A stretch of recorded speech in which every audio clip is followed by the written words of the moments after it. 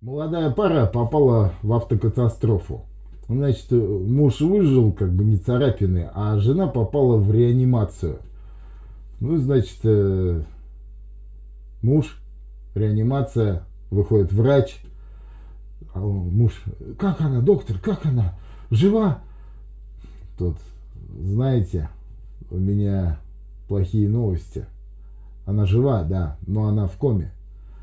И боюсь, что она останется в этом состоянии еще много-много лет. Вам придется кормить ее через трубку, мыть, девать, переворачивать, чтобы не было пролежней.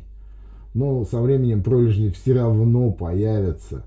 И через довольно-то продолжительное время она все равно умрет в страшных муках. Муж отпал. Доктор смотрит на нее и говорит, что, испугался? Да шучу я, умерла.